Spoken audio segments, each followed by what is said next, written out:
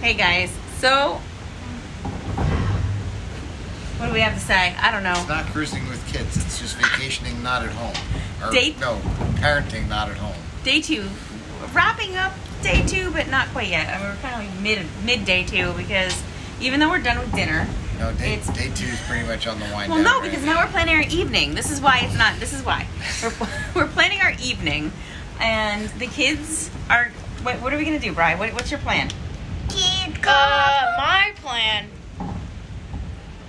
My plan. In three words or less. It was not my plan. I'll tell you that. All right. So It is nice. Okay, so anyway, I think the kids each are going to check out Kids Club.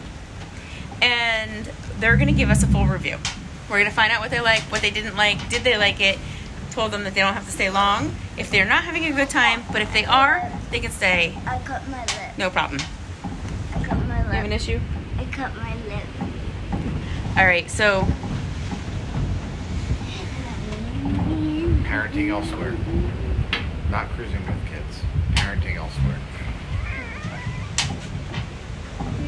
guys, we're having a great time, but uh, the parenting challenges do not end just because you're on vacation. See ya on the says. Wee.